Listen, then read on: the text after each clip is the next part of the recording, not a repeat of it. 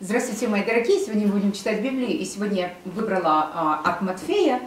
А, а, от Матфея у нас будет сегодня 11 глава, и тема наша будет а, а, как восхищение Царствия а, Небесного. Да?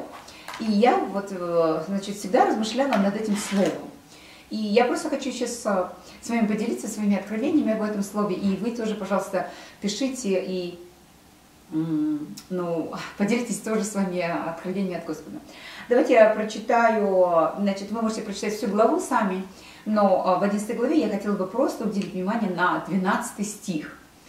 «От дней же Иоанна, крестителя до ныне, Царство Небесное берется, силой берется, и употребляющие усилия восхищают его». А, дальше вот, а, ибо все пророки и закон прорекли до Иоанна, и если хотите принять, он же есть Илия, которому должно прийти. Ибо кто, кто имеет уши, слышит да слышит. А, смотрите, а давайте опять почитаем.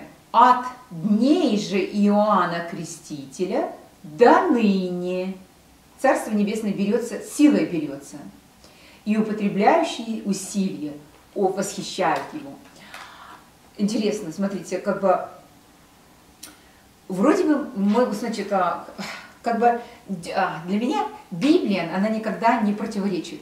Слово не противоречит себе. Слово Божие, оно всегда дополняет одно другого и объясняет одно другое. Если в одном месте где-то непонятное, то в другое место объясняет. А, смотрите, тут написано «Царствие небесное», силою берется, да, сила, значит, какое-то усилие надо прилагать, да, и здесь тоже написано, что и употребляющие усилия восхищают его, и э, восхищают его, царство. И мы знаем, что в, э, в римлянах, и в Галатах также написано, что мы, э, мы не делами, а верою получаем праведность от Господа. А здесь как бы немножко противоречий, да, но противоречий быть не может.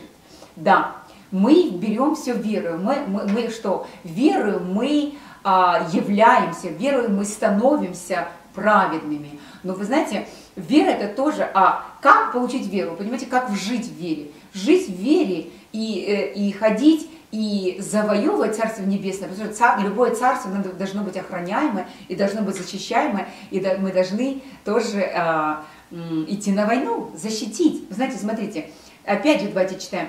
Царство Небесное силою берется, силой, значит, мы должны употребить силу. То есть не закон, не, не посадить себя в какой-то закон, да, мы узаконили, что вот я должна то делать, и вот если я так делаю, то угожу Богу. Богу угодить можно только верой. Но здесь говорится о силе, которую мы употребляем. И употребляющие восхищают его. Смотрите, как мы можем употреблять силу? И, и откуда мы силу эту черпаем? Смотрите, для меня, для меня, я, для меня это слово э, абсолютно, я читаю, и мне оно понятно. Мне оно понятно, потому что я каждый день употребляю силу. Я каждый день, какую силу я употребляю? Вы знаете, именно сила, сила находится где? Сила находится в внутреннем человеке нашем. Внутри, как говорят, знаете, в миру говорят, сила воли, да? Да, конечно, у нас есть воля, Господь нам подарил волю, свободную волю. Мы, мы имеем свободу воли избирать, избирать нам верить или избирать нам не верить.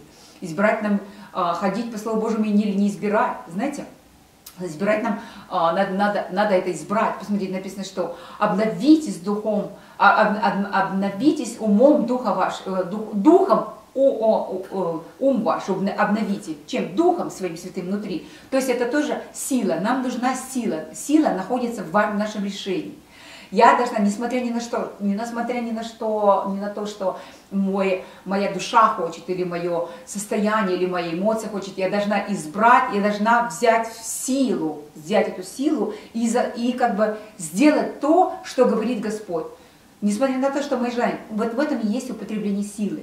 Употребление силы также, когда мы действительно идем, э, читаем, когда мы читаем Ефесянам, в Ефесянам мы, мы читаем о оружие наше не против плоти и крови, а против э, силы поднебесной, против э, правителей написано, против тьмы, правителей тьмы и под, э, силы поднебесной, и воинств, да, и это и есть тоже война, мы идем на войну. И когда мы принимаем, мы употребляем это усилие, мы употребляем, смотрите, написано, что употребляющие усилия, да, значит, силу, да, То есть иногда сила, она идет очень а, агрессивная, то есть агрессию надо употреблять. Агрессия именно праведная, вот именно сила и агрессия, а, чтобы а, удержаться в Царстве Божьем, сохранить внутри Царства Божия, держать, это тоже большая, огромная сила. Сила в избрании. Знаете, сила именно в избрании. Сила не то, что там вы как-то заставляете там себя, себя там, знаете, там, э,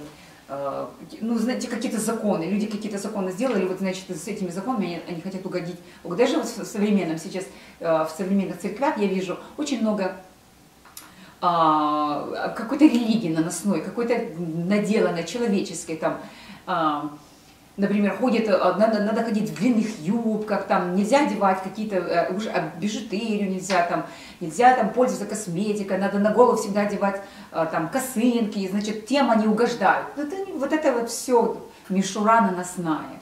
В, в этом нет спасения. Спасение, если именно в том, что мы верою угождаем Господа, мы верим, мы веруем в Слово Его и живем этом. И мы употребляем усилия. Даже, даже уверовать тоже есть усилия. Знаете, вот когда много раз я э, замечала что, например, даже если вот когда, помните, когда я вам говорила вот пару дней назад, я, когда мы приехали из, из долго, долгого путешествия, у меня очень сильно болела голова, и вы знаете, у меня мое желание, у меня всегда, ой, болит голова, вот там у меня болит, ой, как пожалейте меня, да, но мне надо было взять усилия и сказать, несмотря на то, что у меня болит голова, я просто буду молиться, и э, призывать э, значит, Духа Святого, и призывать кровь Иисуса Христа, и просто молиться, и встать, и надо было через эту силу, через эту головную боль взять, принять, э, сделать усилие, да, и избрать, не жить по тому, как я чувствую и моим эмоциям, а именно избрать, именно избрать, принять усилие и начать молиться языками, а, славить Господа, благодарить, и просто кровью Иисуса Христа просто омыть и а, а, исторгнуть из себя эту, эту боль и все, что а, причинит эту боль. И, конечно же, как результат, как результат, все прояснилось, проявилось. Так же, как, например, а, усилие, усилие во всем, значит, просить. Да? Просить это тоже усилие. Просить, например, люди не, не хотят просить, люди не хотят а, там, а, по гордости своей, просить, стучать, написано, стучите и отворят вам. Вот смотрите, вдова была. Вдова у нас в Новом Завете Иисус Христос о ней напоминал, что приходила она к, к неправедному судье, и неправедный судья не хотел разрешать ее вопрос, она все время ходила, а это что было усилие. Она вставала, несмотря на то, что он говорил, она шла и опять просила. Вот это есть усилие, берется усилие. Кто принимает, Э, употребляет это усилие, тот и восхищает Царствие Небесное. Да, Царствие Небесное это что? Царствие Божие внутри нас, Царствие Божие и Царствие Небесное, да? Две, два разных а, как бы ипостаси самого Бога, самого эм, нашего бытия в Боге.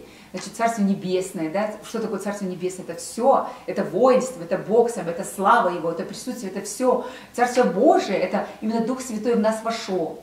Царство Божие, где Царство Божие, не, не, царство, не Царство Божие не питье и не пища, а это мир, праведность и радость в Духе Святом внутри нас, да, и вот мы это усилие, тоже сказать усилие, сколько раз мне было э, такое состояние, что вот мне хочется просто, знаете, вот высказаться, вспылить, вспылить или что-то, ну эмоции, все время мы же, а я вот, знаете, у нас есть такая, такой выбор и такой, и, конечно, надо выбрать, при, принять усилие, приложить усилие и сказать, а я сейчас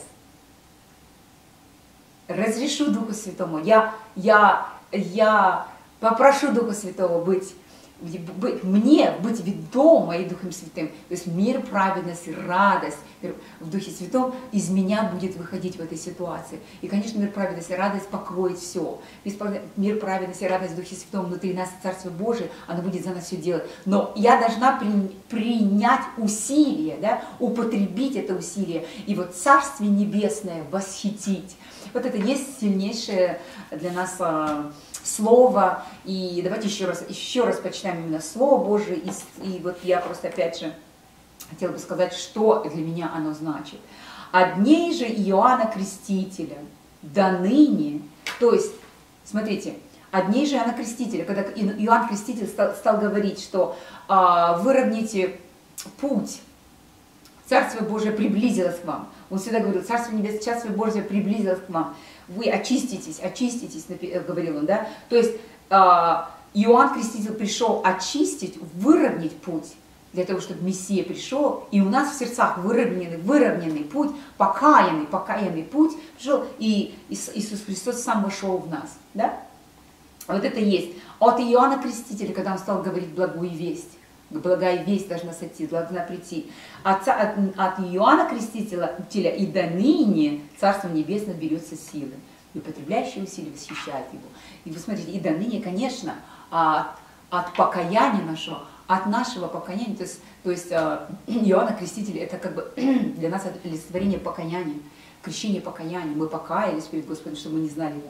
Мы приняли Господа, мы ходим в Господе, и мы принимаем, при, э, мы э, применяем наши усилия, чтобы Царствие Небесное, оно всегда было в нас, и мы его восхищаем себе.